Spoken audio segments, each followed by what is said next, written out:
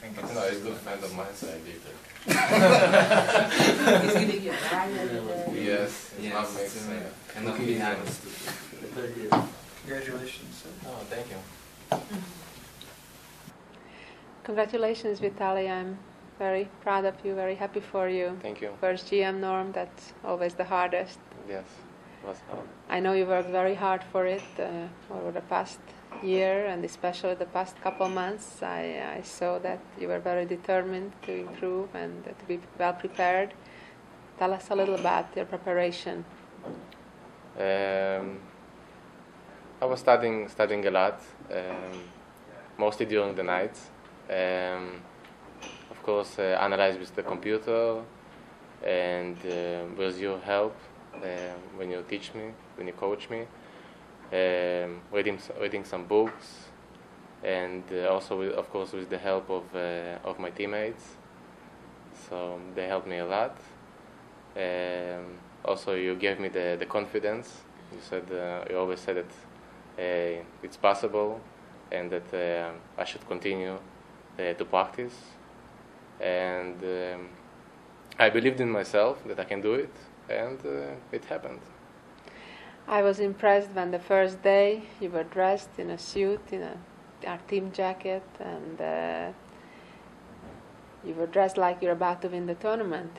So you told me that uh, your goal is to play on board one in the last round, and you achieved your goal. Yes, I'm in board one, and actually I even I even guessed the the, the color because the white was towards the the door, so I could see everybody. It was the best part. and uh, yeah, the suit um, makes makes you feel good. Yes, makes you, makes you feel like a GM. well, you're almost there. Yes, The first step is done, and uh, well, I wish you good luck for the next second and third norms. I'm sure it's only a matter of time, and if you keep being determined, I'm sure you'll get there soon.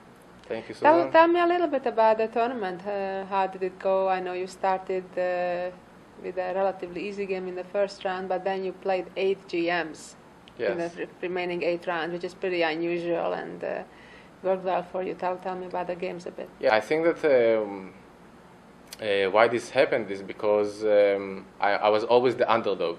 I was 2300, 20, uh, 2380 against 25, 2600, and I just knew that um, I have nothing to lose.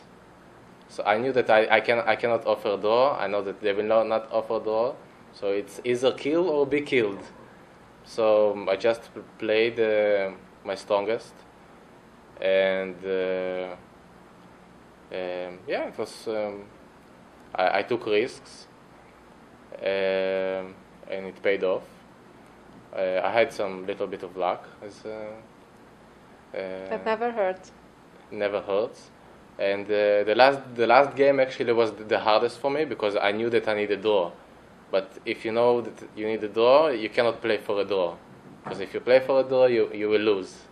So, um, as you could see, I, I trained, I trained uh, this line, and I, I, I tried to win. Um, but uh, eventually, Ray found, found all the right moves, and uh, uh, we ended the game peacefully.